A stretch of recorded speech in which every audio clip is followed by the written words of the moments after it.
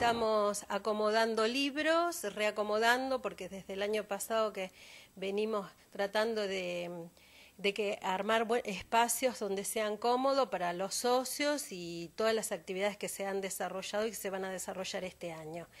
Eh, recién comentaba que también hemos recibido de la CONAVIP, que es la Comisión Nacional de Bibliotecas Populares, como 250 libros que están en estas cajas, que hay que ingresar y, poder este, bajar al sistema. Eh, ¿Son libros de lectura? ¿Son libros de estudio? Eh, hay eh, un poquito de todo. Hay cuentos para niños, hay ensayos de historias, de literatura, hay literatura para adultos y hay algunos textos, ¿sí? Así que estaba, es muy variado lo que nos han mandado y muy interesante el material. Comienzan además en los próximos días con talleres que se dictan aquí. ¿Estamos hablando de qué? Sí, empezamos con, ya empezamos a inscribir para los talleres de francés, que ya van dos años que se está dictando, pero ya este año se abre un grupo para aquellos que quieran iniciarse en el idioma francés. Continuamos con los talleres de inglés, que también eh, desde el año pasado se empezó a trabajar con un grupito, pero también se abre horarios para los que quieran iniciarse. Eh, continuamos con apoyatura escolar en primaria a, todos los días, de lunes a viernes. Y em, tenemos las apoyaturas en física, química y matemática. Eh, se tienen que acercar o llamar a la biblioteca para inscribirlos y nosotros les vamos a comentar los horarios, los días y las cuotas, porque lamentablemente nosotros no contamos eh, con dinero, con subsidios para pagar estos talleres, pero lo que mm, sí eh, se propone es una cuota muy módica como para poder pagarle a los docentes. En algún momento llevaron a cabo aquí la actividad de cuentacuentos. ¿Esto va a tener continuidad este año? Sí, em, tuvimos un cuentacuento para niños y un cuentacuento para grandes.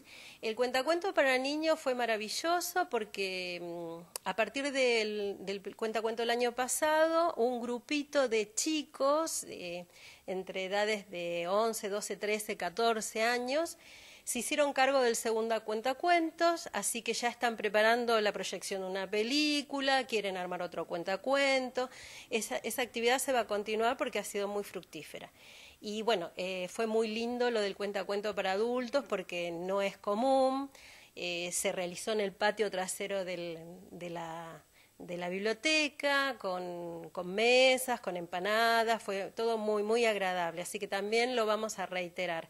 Lo que pasa que, bueno, eh, como todos saben, las bibliotecas populares y las comisiones las formamos gentes que somos voluntarios, es decir, nosotros venimos en los tiempos personales a ofrecer este, nuestro trabajo, no cobramos nada por esto. Entonces, bueno, es, se hace difícil realizar tantas actividades. Por lo pronto, la primera etapa fue ordenar esto. Eh, los libros, porque mm, ya vamos a dar a conocer, nosotros tenemos nuestros catálogos en Internet, o sea, nuestras estanterías están publicadas en Internet y cualquier persona no tiene que ser socio, conociendo nuestra, nuestro número de registro, puede meterse en Internet y ver si el libro que necesita o que quiere este, está en nuestra biblioteca. Por eso estamos ordenando, porque por ahí van a encontrar que tenemos un libro y nosotros todavía no sabemos este, dónde está. Por eso estamos reordenando según el catálogo que, que hemos bajado en Internet. Somos dos bibliotecas que disfrutamos de este beneficio que se llama Sistema DigiBP, que es la biblioteca Carlos H. Rodríguez y nosotros. ¿Y cómo acceden las bibliotecas a este sistema? Eh, con, este servicio? Bueno, a través de la CONAVIP. La ah, CONAVIP es la que nos ofreció el servicio e inclusive nos manda un subsidio para pagar todos los costos de Internet. Sí, la CONAVIT em, estos últimos años, hace siete, ocho años, que realmente se está ocupando de las bibliotecas, este, nos, nos manda material como han visto, nos han ofrecido capacitaciones, nos, ya estamos inscriptos para la Feria del Libro. Eh, de, que se hace en mayo en Buenos Aires, que nos mandan un subsidio para poder ir y comprar los libros. El año pasado tuvimos la posibilidad de un encuentro de bibliotecas populares de todo el país que fue realmente maravilloso. Vinimos con muchas ideas y con, con muchas energías para trabajar. Realmente la CONAVIR está brindando mucho apoyo a todas las bibliotecas. Em, quiero aprovechar este medio no solamente para invitar a los socios de siempre, sino a toda la comunidad que se acerque. Nosotros tenemos este espacio que lo pueden usar gratuitamente, tenemos servicio de Wi-Fi también, vamos a armar una, computadora que va a estar a disposición del público y eh, sobre todo a los docentes que nos acerquen o que a través de nuestro correo, de nuestro Face, nos manden los libros que nos interesen, nos nombre los títulos, ¿no?